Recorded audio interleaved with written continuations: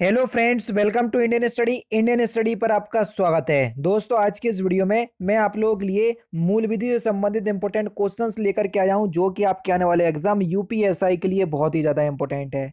तो वीडियो को एंड तक ज़रूर देखिएगा, क्योंकि लास्ट में मैं आपसे क्वेश्चन ही पूछूँगा और उसका आंसर आपको कमेंट बॉक्स में बताना होगा।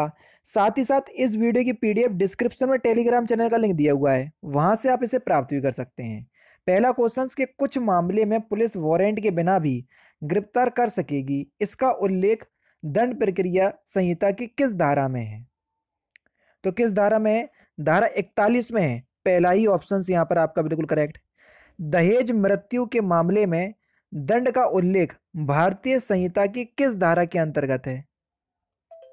तो किस धारा के अंतर्गत है? सही आंसर हो जाएगा आपका धारा 304 के खाम है देखो डायरेक्टली याद करने वाले क्वेश्चंस हैं, जो एक्सप्लेनेशन वाले होंगे बता दूँगा। ठीक है? फ़िलहाल इनको आप डायरेक्टली याद ही कर सकते हैं। भारतीय दंड संहिता की धारा 303 निम्न में से किससे संबंधित है? अब बताओ, धारा 303 अगर याद होगी तो तुरंत में बता दोगे। तो किससे संबंधित है? आजीवन कारावास दंड से दंडित व्यक्ति द्वारा हत्या करने पर दंड से संबंधित है। तो यानी कि इस क्वेश्चन का तीसरा ऑप्शन करेक्ट राज्य सरकार प्रत्येक ज़िले में उतने व्यक्तियों को कार्यपालक मजिस्ट्रेट नियुक्त कर सकता है, जितना उचित समझे। इसका उल्लेख भारतीय दंड प्रक्रिया संहिता की किस धारा में है? तो किस धारा में? सही आंसर हो जाएगा आपका धारा ट्वेंटी में। पहला ही ऑप्शन करेक्ट नेक्स्ट क्वेश्चन के गिरफ्तारी करते समय प्रत्येक पुलिस अधिकारी का क्या कर्तव्य होगा? तो गिरफ्तारी करते समय प्रत्येक पुलिस अधिकारी का सब कर्तव्य होगा कि वह अपने नाम की सही दिखने योग्य व स्पष्ट पहचान रखेगा, जो उसकी पहचान को सजग करे। गिरफ्तारी का ज्ञापन तैयार करेगा। गिरफ़्तार व्यक्ति को यह मौका देगा कि वह अपने रिश्तेदार या मित्र को अपनी गिरफ्तारी की सूचना दे सके। तो ये उसके कर्तव्य होंगे। चौथा ऑप्शन यहाँ पर आपका बिल्कुल क्या होगा, सर? करेक्ट हो जाएगा। नेक्स्ट क्वेश्चन कोई पुलिस अधिकारी वारंट के बिना गिरफ़्तार किए गए व्यक्ति को 24 घंटे से अधिक अवधि के लिए अभिरक्षा में निरोध रख, नहीं रखेगा। इसका उल्लेख दंड प्रक्रिया की संहिता की किस धारा में है?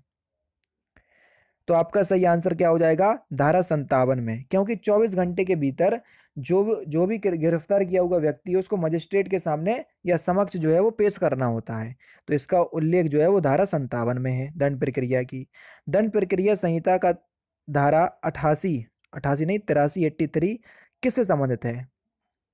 तो ये फरार व्यक्ति की संपत्ति की कुर्की, जो भी व्यक्ति है, फरार व्यक्ति है, उसकी जो संपत्ति है, उसकी कुर्की कर ली जाएगी सरकार के द्वारा। तो ये इससे संबंधित है, दूसरा ऑप्शन करेक्ट नेक्स्ट क्वेश्चन आपके सामने। बारह वर्ष से कम उम्र के बच्चों को उसके माता या पिता या संरक्षक द्वारा कहीं छोड़ देने पर उसे दंड प्रक्रिया संहिता की धारा तीन सौ सत्रह के तहत दंड हो सकता है। तो सात वर्ष का दंड या जुर्माना भी या दोनों भी हो सकता है, तीसरा ऑप्शन बिल्कुल करेक्ट दंड प्रक्रिया संहिता के किस धारा के तहत लोक अभियोजक नियुक्त करने का उपबंध है? तो किस धारा के तहत? धारा 24 के तहत। चौथा ऑप्शन करेक्ट निम्नलिखित में से कौन जो है वो सही है? दंड प्रक्रिया संहिता की धारा कब प्रवत हुई? तो सही आंसर हो जाएगा दंड प्रक्रिया संहिता उन्नीस चौथा ऑप्शन करेक्ट भारतीय दंड संहिता में संबंधित सही वर्ष निम्नलिखित में से कौन सा है? तो सही आंसर हो जाएगा आपका 1860 पढ़ाया था, कल ही पढ़ाया मैंने। भारतीय साक्ष्य अधिनियम किस वर्ष का है? साक्ष्य अधिनियम। तो ये किस वर्ष का है? अठारह का है, सर। कब का? अठारह तीसरा ऑप्शन करेक्ट नेक्स्ट क्वेश्चन देख लीजिए, सर, आपके सामने। जब किसी व्यक्ति के दुर्व्यापार दुर्व्यापार में कोई लोक सेवक या पुलिस अधिकारी संलिप्त हो तो ऐसे लोक सेवक या पुलिस अधिकारी को भारतीय दंड संहिता की धारा तीन सौ सत्तर के तहत क्या दंड दिया जाएगा? तो क्या दंड दिया जाएगा? आजीवन कारावास का दंड दिया जा सकता है भैया। तीसरा ऑप्शन करेक्ट नेक्स्ट क्वेश्चन से आपका कि वरिष्ठ पुलिस अधिकारों की, अधिकारियों की शक्ति का उल्लेख दंड प्रक्रिया संहिता की किस धारा में है? तो किस धारा में है? धारा छत्तीस के अंतर्गत है सर। तीसरा ऑप्शन यहाँ पर आपका बिल्कुल करेक्ट नेक्स्ट क्वेश्चन ऐसा अपराध जिसके लिए पुलिस बिना वारंट की गिरफ़्तार कर सकेगी, उस अपराध को क्या कहते हैं सर? तो उस अपराध को हम संज्ञेय अपराध की श्रेणी में रखते हैं। पहला ऑप्शन करेक्ट सात वर्ष से कम आयु का बच्चा द्वारा किया गया कोई अपराध नहीं माना जाएगा। कोई भी अपराध किया गया तो अपराध की श्रेणी में नहीं माना जाएगा। यह भारतीय दंड संहिता की किस धारा में संबंधित है? तो यह धारा बयासी में संबंधित है, दूसरा ऑप्शन करेक्ट भारतीय दंड संहिता का समुद्र में क्षेत्र अधिकार कितने समुद्री मील तक है? तो सही आंसर हो जाएगा आपका बारह समुद्री मील, तीसरा ऑप्शन करेक्ट बाहर, हालाँकि ये क्वेश्चन आपका ज्योग्राफी से भी है। भारतीय दंड संहिता की निम्नलिखित में से कौन सी धारा यौन अपराध से संबंधित है?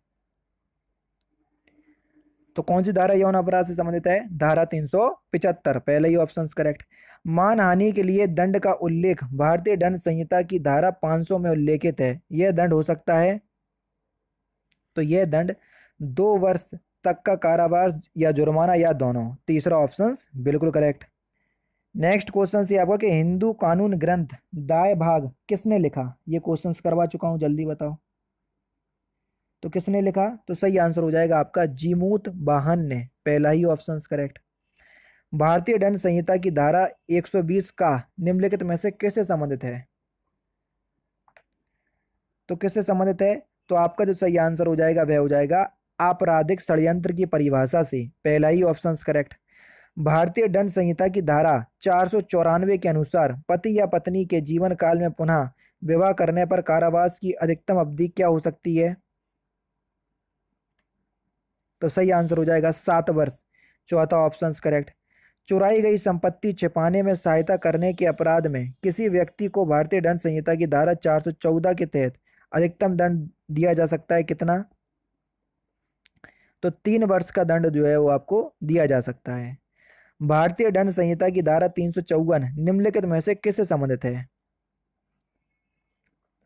तो किससे संबंधित है? तो सही आंसर हो जाएगा आपका स्त्री लज्जा भंग करने से संबंधित दंड। पहला ही ऑप्शन करेक्ट लास्ट क्वेश्चन के भारतीय दंड संहिता की किस धारा के तहत करेंसी के नोट करेंसी के नोटों के कूटकरण के अपराध में दंड का उल्लेख है? तो इस क्वेश्चन का आंसर आप मुझे कमेंट बॉक्स में बताएँगे। तो दोस्तों, ये थे आपके 25 मूल विधि के इंपॉर्टेंट क्वेश्चंस जो कि मैंने आज की इस वीडियो में आपको कंप्लीट करवा दिए। कल मैं आप लोगों के लिए संविधान के क्वेश्चंस लेकर के आऊँगा, यही रात नौ बजे। और आप सभी लोग जानते हैं अकेडमी पर मैं लगातार आप लोगों के लिए तैयारी करवा रहा हूँ, ठीक है? तो अगर आप अन अकेडमी पर मुझे फॉलो कर लोगे तो आपको बहुत ज़्यादा प्रॉफिट मिलेगा, क्योंकि हिंदी की तो लगातार आपको धमाकेदार तैयारी वहाँ पर आपको करवाई जा रही है।